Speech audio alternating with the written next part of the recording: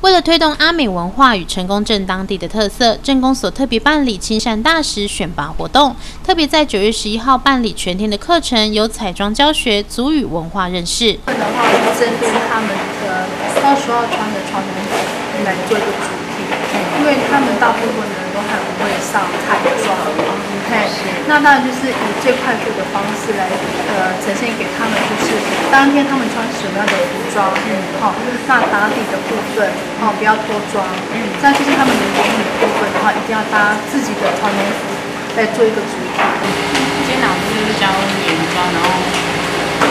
上台的时候看起来比较容易有精神，有精神。同学认真的听老师说明彩妆的基本概念，更学习到彩妆的技巧。基本来讲，就是说我们这一次办那个联合丰年祭跟青山大使的活动啊，最主要就是要把成功推展出去，这样子。借有这一次的青山大使的活动，来把成功镇最好最美的那个文化也带给大家，这样子。然后呢，基本来讲的话，我们呃青山大使选出来的青山大使，要帮我们成功镇做一些农特产品的呃。推销，然后再来就是说，借由青山大使，也把我们阿美族的文化给推广出去。